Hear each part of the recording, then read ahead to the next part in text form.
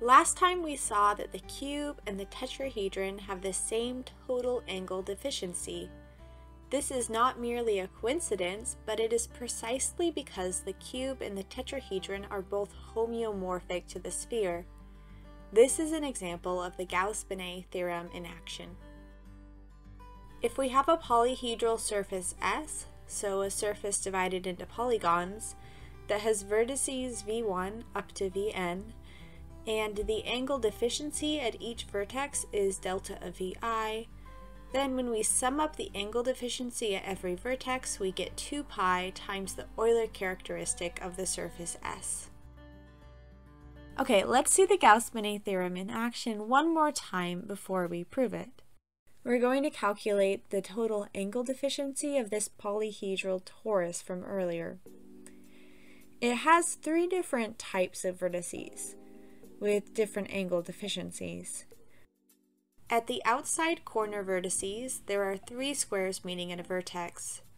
Around each of these vertices, there is an angle of 90 times 3, which is 270 degrees, and 360 minus 270 equals 90.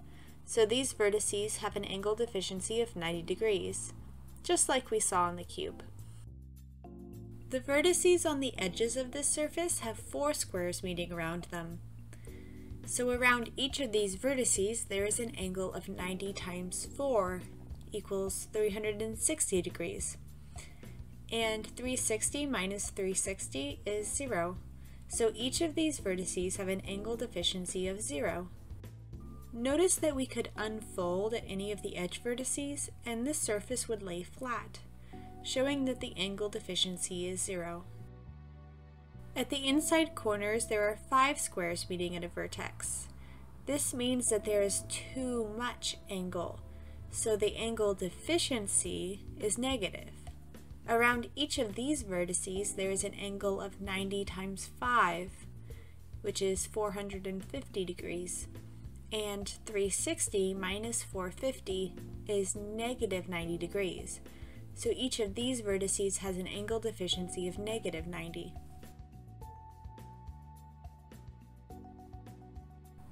So this surface has 32 vertices as we counted last time. There are 8 outside corners with an angle deficiency of 90, or pi over 2. 16 edge vertices with an angle deficiency of 0 and that leaves 8 inside corners with an angle deficiency of negative 90, or negative pi over 2. We then total the angle deficiency at every vertex. We have 8 times pi over 2, plus 16 times 0, plus 8 times negative pi over 2, which gives 0. And this is the same as 2 pi times the Euler characteristic of the torus, which we know is 0. So the Gauss-Bonnet theorem works in this case. Now let's get back to proving this result. The first step is to take the current subdivision of your surface into polygons and triangulate the whole thing. So if this cube is my polyhedral surface, then I have faces which aren't triangles. But I can easily fix that by just drawing triangles everywhere. We can do this no matter what shape a specific face is. Remember way back in part 1 when we did this for all convex polygons? Now that we've triangulated our polygon, we have a new subdivision with possibly new vertices. We know that the Euler characteristic of the surface is independent of the subdivision. And if we added any new vertices, they will lie on a face of the original subdivision, so they will have an angle deficiency of zero. So we have a new subdivision with only triangles that really doesn't change anything about the problem. For the second step, we know that all of the faces are now triangles, and that the interior angle sum of a triangle is pi. So if we add up the interior angles of all of the faces of S, we should get pi times f, the number of faces. In the third step, we can use this information to write an expression for the sum of the angle deficiencies. Let S have V vertices.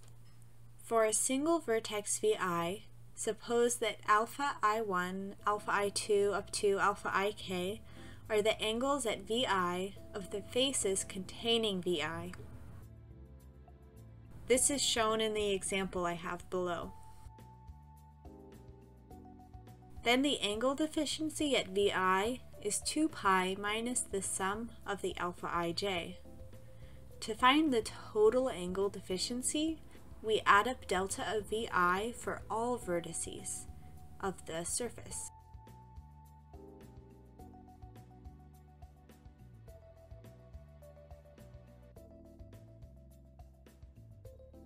This gives 2 pi times V minus the sum of all of the alpha ij. This sum is exactly the sum of the interior angles of the triangles in the subdivision of S. And we already found that this sum is pi times f. Hence, the total angle deficiency of S is 2 pi times v minus pi times f.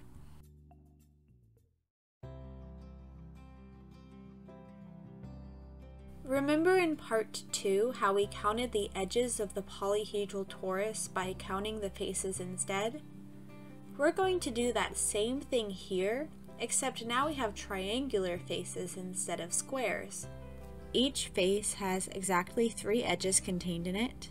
Each edge is still contained in exactly two faces, so if we multiply the number of faces, f, by 3, then we should count every edge exactly twice.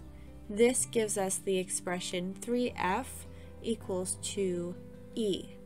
Then doing some algebraic manipulation, we have 3 halves f is e, and 3 halves f is the same as f plus 1 half f.